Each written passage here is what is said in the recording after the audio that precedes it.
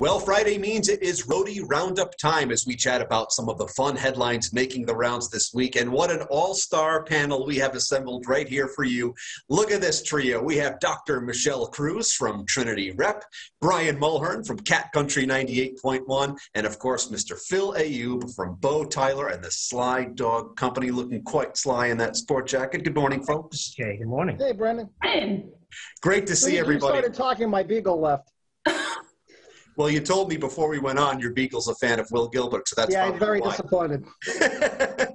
well, we'll try our best to persevere and chat about some fun headlines. Let's get right to it. This week, one of my favorites, and Phil, I know one of yours, Mr. Bruce Springsteen announced some tour dates for next year. So that, that kind of got me to thinking about your dream artists, artists that you wish maybe you had seen live, the ones that are on your to see list, or maybe who's the person that you're just dying to see that you just haven't gotten around to checking out yet. Michelle, I'll start with you.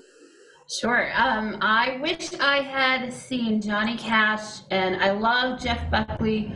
Not a lot of people know him, but he's an amazing artist. I didn't get to see them before uh, they left this world, but I would love, love, love to see Radiohead. I have not been able to see Radiohead yet, so that would be my to see list for sure. Very solid list. How about for you, Brian?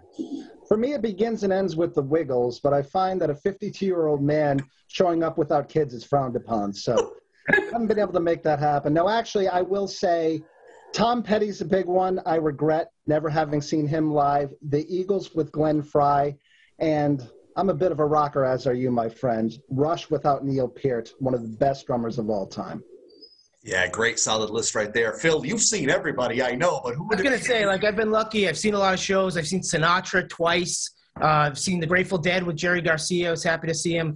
But when I think about somebody we lost that or a while ago, for some reason, I would love to have seen Bob Marley. He's someone that I wish I, I'd seen.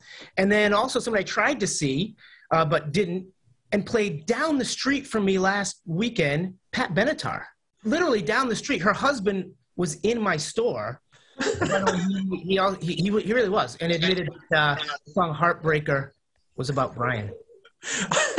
well,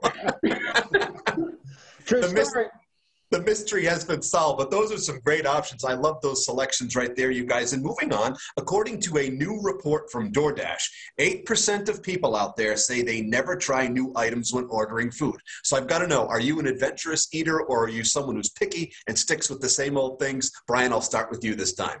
Well, in these inflationary times, I am getting more adventurous. I'm doing far more dumpster diving than I have in the past. But in reality, I will say that I'm not adventurous when it comes to picking new restaurants. My wife and I tend to go to the same places all the time. But what I will do is I will mess around with the specials as opposed to sticking with the regular menu. Good, solid uh, strategy right there. How about for you, Phil? Well, I'm a moody person, so my first thought was like, yeah, I try different things. But then I thought, well, the last time I was down the street at the cookhouse, I walked in and the guy was like, oh, tuna ceviche and shrimp cocktail. last time I was at Justo, the guy's like, "Oh, meatball and the oysters." So I guess I kind of order the same things all the time. And we've come up with some new nicknames for you, evidently. Brendan right gets here. that with a vodka tonic every time he walks it anywhere. Yeah, I have to, really. How about for you, Michelle? I will try just about anything. Um, I am a little afraid. I love those shows like Anthony Bourdain and everything, but it does scare me when they get to that super, super kind of gross insect like food. Can't do that, but I will try just about anything, just about any drink too. Pretty adventurous. I love it. It's good to be a little bit adventurous. And last but not least here, uh, plan accordingly because Sunday is my birthday. I love Metallica and Michael Jordan. Make your selections appropriately. So I need to know what's the best or worst birthday gift you have ever received or perhaps given. Phil, I'll start with you this time. Well, as uh, as, as everybody knows, you turned 40 last year. That's and, incorrect. Uh, Wrong.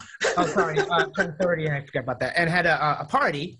And I made an appearance for about 15 minutes, which I thought was um, very generous of me to give my time to, to your birthday. Um, but no, seriously, I love Snoopy. So anybody that gives me anything Snoopy, I will save forever. And I mean that. Like, I really will keep it forever. Very sweet. How about for you, Michelle? Um, I too love Snoopy. I didn't know that about you, Phil. Yes. We will these moments together.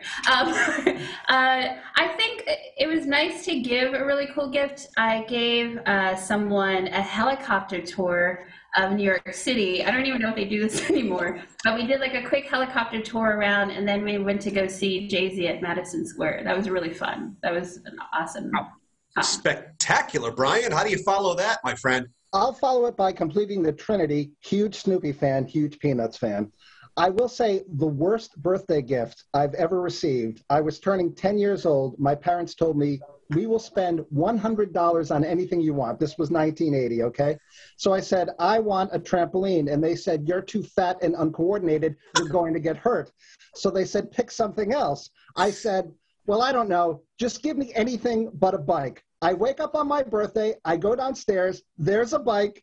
I said, I told you I didn't want a bike. To which they said, You're a spoiled brat. Happy birthday. Well, it's nice to see you've gotten over it, Brian. Thank you. Means a lot, doesn't it? And that, by the way, was the inspiration for Heartbreaker. There you go. It all comes full circle. Circle. Brian, Phil, Michelle, a pleasure. I love chatting with the three of you, either on TV or off. Thank you for being with us right here on the Rhode Show. Thanks, Thank Brennan. you. Have a great weekend.